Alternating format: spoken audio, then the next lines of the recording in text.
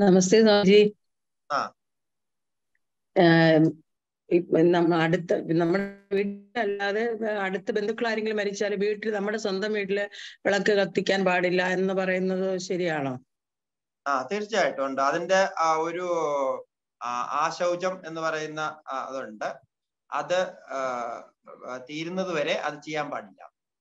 അത് എത്ര ദിവസം വരെ അങ്ങനെ കത്തിക്കാൻ പാടില്ല അത് ആ അതിന് അത് ഒരു കോംപ്ലിക്കേറ്റഡ് ആയിട്ടുള്ള ഒരു വിഷയമാണ് കാരണം അത് ഓരോ സമ്പ്രദായം അനുസരിച്ചും നമ്മുടെ ഓരോ ദേശത്തിന്റെ സ്ഥലത്തിന്റെ അനുസരിച്ച് അവരവരുടെ ഒരു നിശ്ചയമുണ്ട്. അത് ശാസ്ത്രത്തിൽ ഓരോരുത്തർക്കും പ്രത്യേകം പ്രത്യേകമായിട്ടാണ് പറഞ്ഞിരിക്കുന്നത്.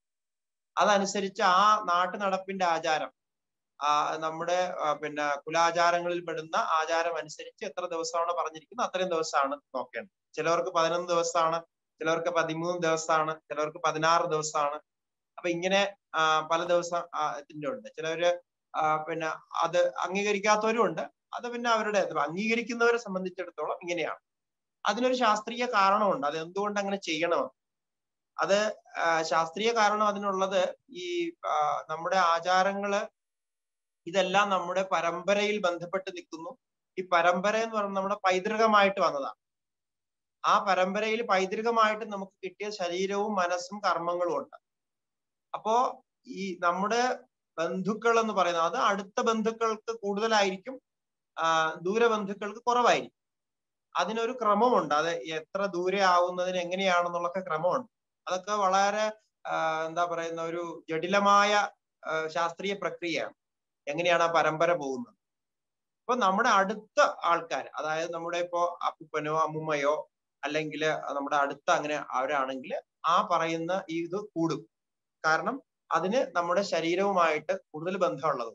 രക്തബന്ധം നമ്മൾ പറയാറുണ്ടല്ലോ. അതിന് നമ്മൾ മലയാളത്തിൽ രക്തബന്ധം എന്നാ പറയും ഇപ്പൊ രക്തബന്ധം അനുസരിച്ചിട്ടാണ് ഈ ഭാവം വരുന്നത്. അപ്പൊ അത് എന്തുകൊണ്ട് വരുന്നു എന്ന് ചോദിച്ചാൽ നമ്മുടെ നമ്മൾ അറിയാതെ തന്നെ നമ്മുടെ മനസ്സിനെ അത് ബാധിക്കുന്നത് കൊണ്ടാണ്. ഒരാളുടെ വിയോഗം അയാളുമായിട്ട് നമുക്ക് താല്പര്യമില്ലായിരുന്നുവെങ്കിലും അയാൾ നമ്മുടെ ശത്രു ആയിരുന്നുവെങ്കിലും ഈ വിയോഗം കൊണ്ട് നമുക്ക് ഒരു നമ്മുടെ മനസ്സിലൊരു ഭാവം ഉണ്ടാവും. അയാൾ പോയി എന്ന് നമ്മൾ കരുതുന്നതും അങ്ങനെയാണെന്ന് വെച്ചോളൂ. എന്നാലും ഒരു ഭാവം ഉണ്ടാവും. പലരും ഇത് ചോദിച്ചിട്ടുണ്ട്. അതായത് നമുക്ക് ഇഷ്ടമായിട്ടുള്ളവർ പോകുമ്പോൾ ദുഃഖം ഉണ്ടാവും ശരിയാണ്. പക്ഷെ നമുക്ക് ഇഷ്ടമില്ലാത്ത ഒരാൾ നമ്മുടെ ഒരു ബന്ധുവാണെങ്കിലും ശത്രുവായിട്ടുള്ള ഒരാൾ പോയി കഴിഞ്ഞാൽ നമുക്ക് സന്തോഷമാണ് ഉണ്ടാവുന്നത്. അപ്പൊ സന്തോഷം ഉണ്ടായാൽ പോലെ നോക്കേണ്ട ആവശ്യമില്ലല്ലോ എന്ന് പറയുന്നുണ്ട്. പക്ഷെ അത് ശരിയല്ല. അത് നമ്മുടെ മനസ്സിന്റെ സന്തോഷവും ദുഃഖവും രണ്ടിലും ഈ മരിച്ചുപോയ ആളുടെ ബാധയുള്ളത് കൊണ്ട് അത് മനസ്സിൽ വ്യത്യാസങ്ങൾ ഉണ്ടാക്കും. അത് നമ്മുടെ ശരീരത്തിലും ഡി എൻ എയിലും ഒക്കെ കണക്റ്റഡ് ആണ്. അതുകൊണ്ടാണ് അത്രയും ദിവസം അങ്ങനെ ആചരിക്കണമെന്ന് പറയും പണ്ട് അതിൽ കൂടുതൽ നിയമങ്ങൾ ഉണ്ടായിരുന്നു ഒരു വ്രതം പോലെയൊക്കെ ആയിരുന്നു ഭക്ഷണങ്ങൾ ഒഴിവാക്കുന്ന രീതിയൊക്കെ ഉണ്ടായിരുന്നു.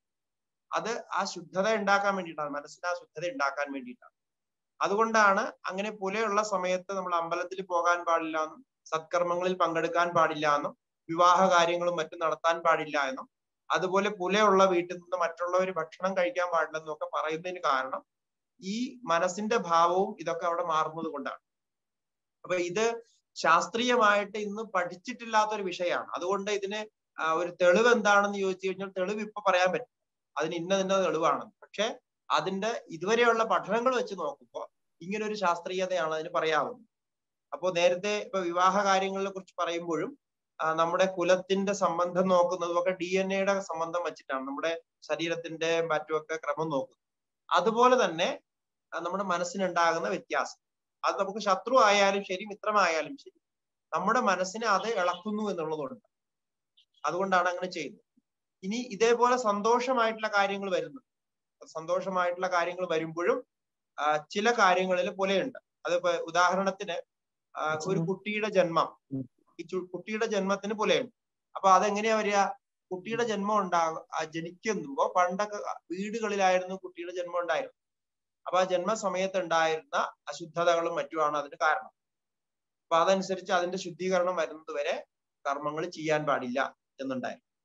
അപ്പൊ ഇതെല്ലാം നമ്മുടെ ഒരു ശുദ്ധതയുടെ രീതിയിലാണ് ഇതെല്ലാം ചിന്തിച്ചു വെച്ചിരിക്കുന്നത്. അതിനൊക്കെ അതിന്റെതായിട്ടുള്ള ഒരു ശാസ്ത്രീയ കാര്യങ്ങളും ഉണ്ട്. അത് നോക്കിയിട്ടാണ് അങ്ങനെ ചെയ്യുന്നത്.